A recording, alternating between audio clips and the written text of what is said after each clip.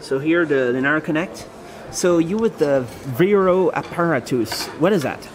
Um, it's essentially a group of uh, seven of us, eight of us at the moment, um, who set up a small company with the aim of producing an ARM V8 powered laptop. The reason we set up a company is because most of the SoC vendors expect to deal with a corporate entity. Um, so uh, we, we, we ended up with this so they can serve um, non-disclosure agreements and bits and pieces. so you want to do ARM powered, uh, basically like this, right? You want to do uh, a good keyboard, good mouse, and good display, but also performant, very high performance ARM processor, right? Well, yeah, I mean, it, want something to be, um, how to say, it, your day-to-day work machine. Um, we're not interested in having a mobile device. We're looking at something that really is a replacement for your day-to-day desktop. Um, now, the initial concept is we're not going to be able to produce absolutely everything, so we're going to take probably something like an X220, an old, an old? Lenovo laptop. So This is an X220. uh, this is an X201 actually. It's, uh, it's, So it's slightly older. No, no, about the, about the same size. Same just size? A, uh, just just a slightly newer model. So you're gonna buy some used ones and, Buy and the used ones. take the PCBs out, Yep. Uh, well, just take out the motherboard. Take out the motherboard. We, so we leave the screen. We leave all the uh, leave leave all the uh, peripherals in place, and, and we want to use them. So so what do you do? So who are you? Hi, I'm Steve. Um, I'm one of, one of the Vero guys as well, as well as being an ARM employee and a Linaro engineer. Um, so I'm one of the team. Um, we I'm going to be working, helping to do the software for, for the laptop. Um, as Andy says, we're looking to make a proper workstation out of these things, just like in one of the existing ThinkPads that we all carry day to day. Um, we want to be able to actually replace that with something powered by ARM because hey, that's what we're all passionately working on every day. We want to be able to use that ourselves. You know, it's a dog food exercise. So around here in this room, uh, there's some uh, uh, some pretty powerful stuff. So if we look uh, over here, we're gonna check it out. Yeah. There's uh, here's a Cavium ThunderX, 48 core, 64 bit. It'd be pretty nice if it could fit, right? 48 cores on a laptop might be a bit more than we can deal with thermally, but we'd love to try. You'd love to try. What do you think you're gonna get? What kind of uh, thing do you, do you aim for? Something. Well, primarily it needs to have uh, a, a reasonable memory bandwidth. Um, the mobile devices, yeah, it's a bit a bit too small. Must have V8. Absolutely must have V8, so we can have sufficient memory footprint to, to build large applications. To have lots of um, RAM also, That's yeah, like, uh, enough like RAM. 8 GB. What do you think? Um, my ThinkPad has 16 gig today. I 16 gig. Yeah. What, So we should, we're we- we should be at least looking that. At At least 16 gigs. At least 16 gig of RAM. So you t- you're talking about uh, right now with Linaro Connect, a bunch of ARM Linux guys. Yep. It'd be good if a bunch of them had ARM laptops, right, for their work. Um, I mean, this is our, absolutely our target audience. I suspect if we were able to turn up with a laptop and say, right, who wants one?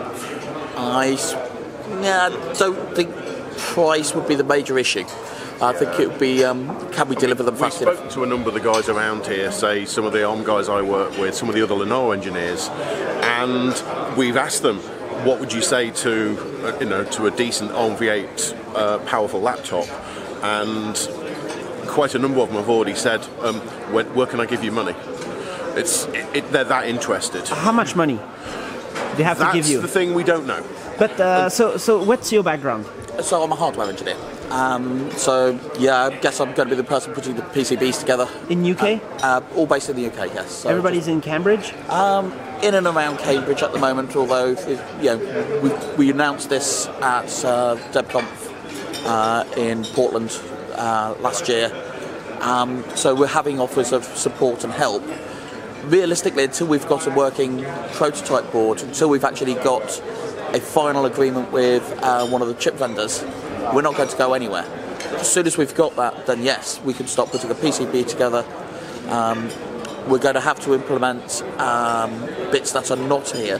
The sort of chips we're looking at um, are designed for servers, so they don't have USB, they don't have video, they don't they don't have all the integrated things that um, your laptop um, chipset will have. So we're just going to attempt to um, re-implement that probably over uh, PCI Express, um, which they will have. So we'll have to add a, you know a USB ecosystem. There's a good chance I would expect this year for some very powerful ARM processor to be designed for laptops specifically. That, I think they should be. We should be at that time, no? We're hoping for that as well. I mean, let's let's face it. If if somebody had this laptop or a powerful enough mach- machine on a laptop today, we wouldn't be doing this. We'd be going and buying that. And until that until that arrives on the market, I guess we're going to have to do it ourselves. So you said the eight eight guys, eight the eight people. Yeah. Oh, you, do you have uh, the talents required to get this done? We've got everything from you know, the very low level hardware. Uh, we've got people working on UEFI and possibly a completely open secure boot, all the way up through to kernel guys. So yeah, And then we've got people with distro experience, we've got people with experience of doing uh, device testing and all that kind of thing. We know we we think we have all the skills needed. It's just purely a case of going and finding appropriate hardware and making things work. So when you have the SoC and somebody says okay, Mm-hmm. how long time do you need to get it uh, out, and uh, how many are you gonna ship? Do you think? How, how long What- is a piece of string? ex- assuming every? Okay, assuming everything works, we were expecting to go through one or two spins of PCB to start off with. We probably won't even try and fit into the laptop form factor for our first board. Um, once we've got that board, we will learn. We'll, we'll learn from our mistakes, but that will be one spin. Hopefully, the second iteration of PCBs will be enough to feed um, the immediate um, developer base. So maybe we build 10, 20 units because by then I, I would expect VA will have grown to sort of 20 odd people. Do you need investors? Not yet, no. Not yet. Maybe later. At, at the 20, when we've all got everything running, but point then when we start- maybe then The that's point when when we'll we start trying to get them into a laptop form factor is the point when we expect that we're going to get more people going, wanting to, to work with us and starting to give us money. And fingers crossed, that'll be where we get to So soon. you need to be able to compile the kernel faster than how, how fast, and stuff like that. Is it called compiling? Uh, the, the the developers need to do stuff fast, like how fast? Faster than the fastest Intel?